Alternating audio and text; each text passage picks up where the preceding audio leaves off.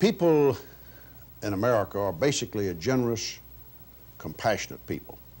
I, I don't think there's anyone that I know, uh, rich, poor, uh, Democrat, Republican, Independent, or anyone else, who doesn't want to take care of, of elderly people, of dependent children, of uh, infirm people, people who can't provide for themselves. Everybody wants to do that. Uh, that's a humane instinct with which we're blessed.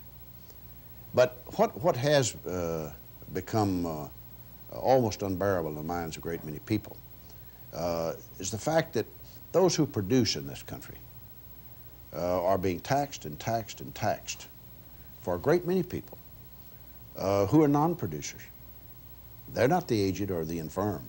They're just non-producers. To help John Connally turn this country around, call toll-free 1-800-331-1000. John Connally, Leadership for America.